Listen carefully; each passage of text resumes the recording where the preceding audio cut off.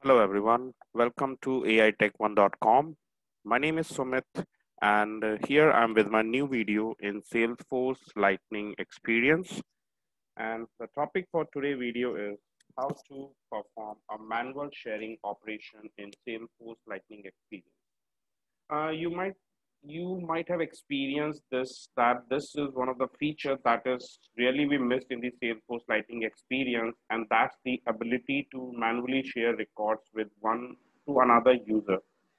Uh, if you guys remember in uh, Salesforce Classic, we used to have that option. Earlier, we used to have that option that whenever we want to perform a manual sharing, we used to get a sharing button and uh, while clicking on that button we can perform manual sharing. But that feature is not available in salesforce lightning so that feature is still available in salesforce classic but in salesforce lightning it is not available. So therefore uh, the salesforce labs they comes with a lightning component on app exchange and that component is known as the lightning sharing.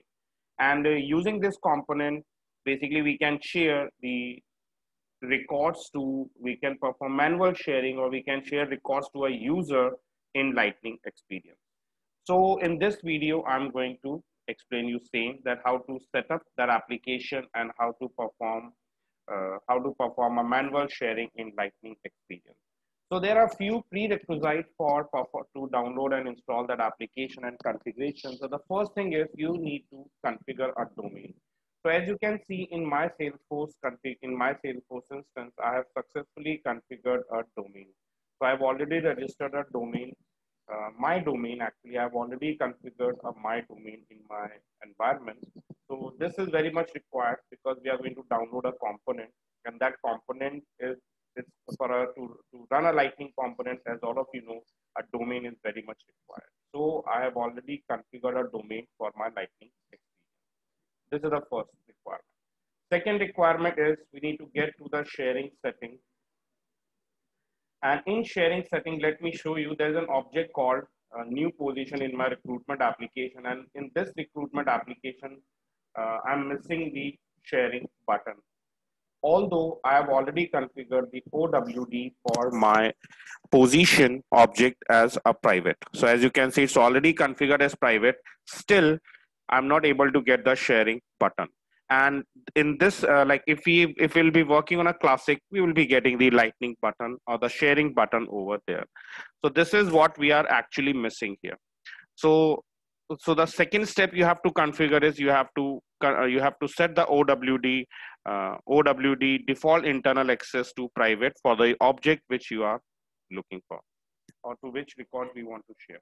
The third thing we have to do is we have to navigate to the app exchange and download and install an application.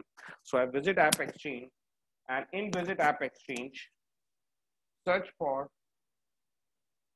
lightning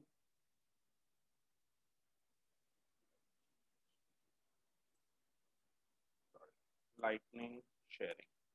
This is the component which we need to download. So click on component and when you click on component, you will get a lightning sharing option. This is prepared by the Salesforce lab. So click on this bar, click on this component and get it now.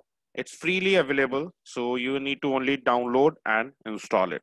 So the steps are same in order, uh, the steps to download any application from App Exchange is same as we have done multiple times in our previous videos.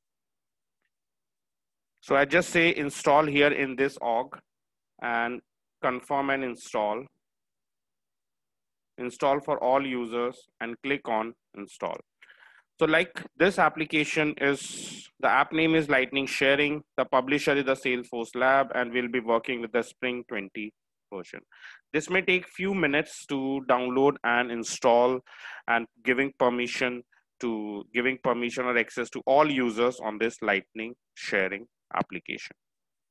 So it's a component. As you can see, it's a component. That's why we configured a domain. We registered a domain beforehand in order to use this component.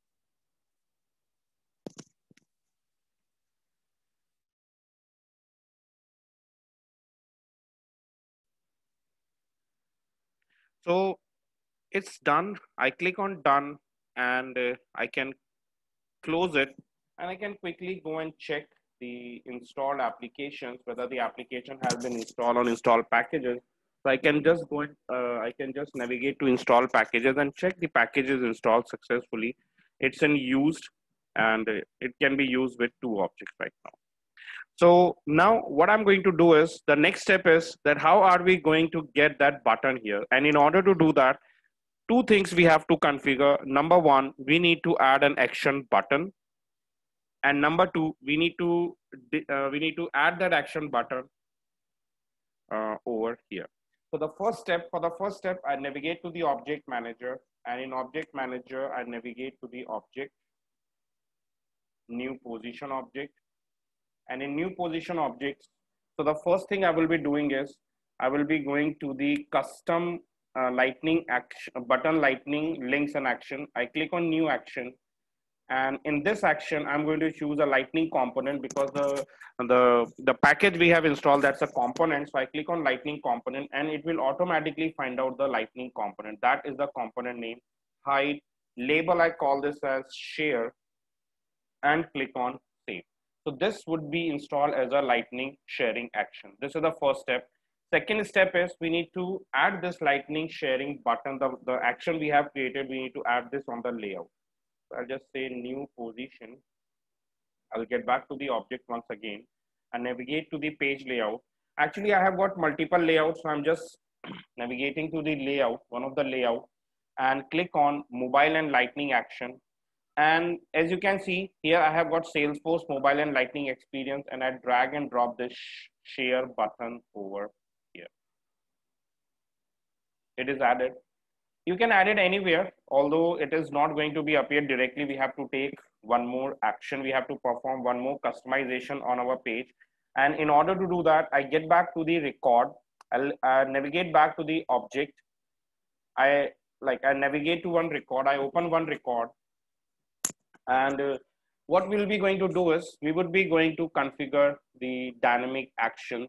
To know more about dynamic actions, uh, you can visit my another video, a separate video I have prepared how to configure dynamic actions in Salesforce Lightning Experience. The description will be uh, the the link to that video will be available in the description. You can check it out from there. So I click on edit page so it will redirect us to the Lightning App Builder. And in this Lightning App Builder, I click on the highlight panel. And in highlight panel, I am going to enable the dynamic actions. So I click on dynamic actions and I'm going to add dynamic actions now. So I need a dynamic action as edit.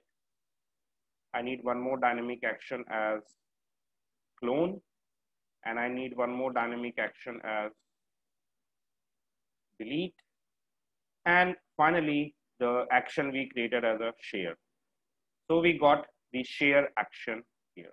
We can change the location. I just move this beforehand, maybe before edit, and it is share. Let's save this and activate this. So I have already configured the setting as org default, so it would be available for the whole organization. Click on back and let's test it out. And in order to test it, we get back to the record and you can see we got a share button. When we click on share button, it will open in a new option. So as you can see, this is a component. So in order to execute, in order to, uh, in order to use this sharing action, the domain is required. That's why I registered a domain. So click on share. And as you can see, there is, I'll just remove this. In order to share a, in order to share this record with a specific user, click on add new permission. You can share this with a user or a role for a public group. I'm going to share this with a user and I just search for a user called Adit. Select this. This is a, this is one this is one of my standard user in my Salesforce org, and I'm going to give read permission. And as you can see, it turned to gray. Gray means the permission has been configured and uh, if we don't want to share it we can click on none then record will not be shared and we can see we can click on this tab which is named as view and edit current permission and this will list out that this particular record hr manager has been shared with how many users how many roles and what the what are the permissions So as you can see, this, this record has been shared with Adit. Reason is manual sharing and the access level is free. So that's the way we can perform a manual sharing in Salesforce Lightning Experience. So this is an out of box, this is an out of box solution which we have to configure manually.